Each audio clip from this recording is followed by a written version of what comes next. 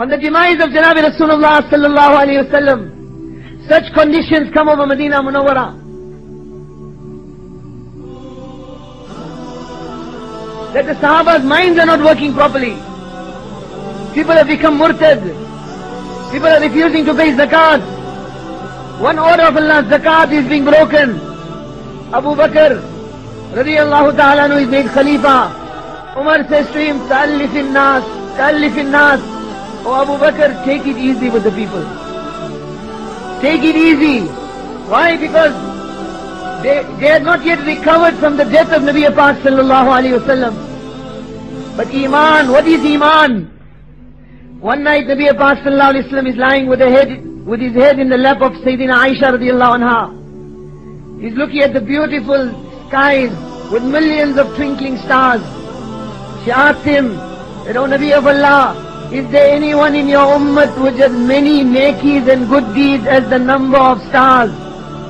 Without hesitation he says, Oh Aisha, it is Umar. She gets a shock. She meant she was hoping the answer will be her father. And being a woman, she couldn't control herself. What about my father? What about Abu Bakr? Nabi says, Oh Aisha, inna jami'a hasanati Umar ka hasanatin wahida min hasanati Abi Bakr. That all the good deeds of Umar is equal to one good deed of Abu Bakr. He said if you put the iman of the whole ummah on one side and the iman of Abu Bakr on the other side, the iman of Abu Bakr will outweigh the iman of the whole ummah. Umar says, Ta'allif in nas, take it easy. He strikes him on his chest. Ajabbarun fil jahiliyyah, wa khawarun fil Islam. In jahiliyyah you were a brave person. Now in Islam you have become a coward. Sa'id al-Mimbar, Hamid Allah, wa asna alayhi. Climbs onto the mimbar, gathers the Sahaba, and he reads out the khutbah. إن الله بعث محمد والحق كل شريد والإسلام غريب طريد قد رس حبله وقل أهله فجمعهم الله تعالى بمحمد صلى الله عليه وسلم وجعلهم الأمة الباقية الوسطى. والله لا أبرح أقوم بأمر الله وأجاهد في سبيل الله حتى يقتل منا شهيدا في الجنة. والله لو منعوني عقالا مما كانوا يعطون رسول الله ثم أقبل معهم الحجر والشجر والمدر والإنس والجن لجاهدتهم حتى تلحق روحي بالله He says Allah sent Muhammad sallallahu alayhi wasallam. Mankind was steeped in ignorance. There was no deen. People were in the depth of jahalat.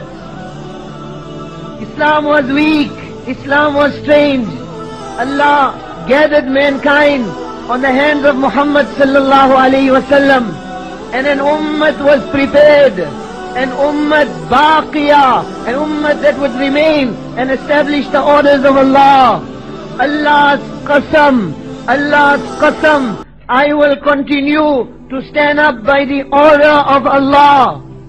And I will strive in, and we will strive in the path of Allah until those of us give up our lives for Allah's sake and Allah will raise us as shuhada in Jannat. Allah's qasam, if they ask me to listen from the deen of Muhammad sallallahu alayhi wasallam, not the animal of zakat, but the rope, the rope by which the animal is tied. If this much is diminished from the deen of Muhammad sallallahu alayhi wasallam, and then they bring all the trees of this world, bring all the houses of this world, bring all the armies of this world, bring all the technologies of this world, every insan on this earth, every jinnat on this earth gathers together and forms one massive army, marches upon Medina Munawwara, asking us to accept that the rope of zakat should be diminished from the deen of Muhammad sallallahu alayhi wasallam. I, Abu Bakr, I, Abu Bakr, alone will stand up against the whole mankind and every army and every government. والذي لو اختطفتني الذئاب والكلاب let them come into Medina let them cut my body into pieces let the dogs and the wolves feed on my bodies let Medina be defenseless let the wives of Janabi Rasulullah sallallahu alayhi wasallam be slaughtered. والذي نفس أبي بكر بيده لو جرت الكلاب بأرجل أزواج رسول الله by the qasam of that being in whose hands lies the life of Abu Bakr. Let the wives of Nabi Pak sallallahu alayhi wasallam be slaughtered one by one. I will tolerate that their bodies be dragged by the dogs of Medina through the streets of Medina.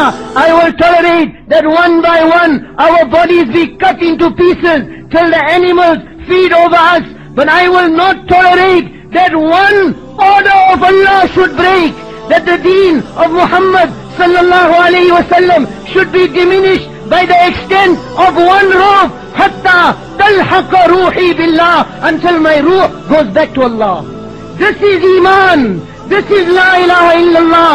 Umar says, when we heard this, Sahaba understood Allah had opened the reality on Abu Bakr. We came out of our ghaflat and we understood this is what we were.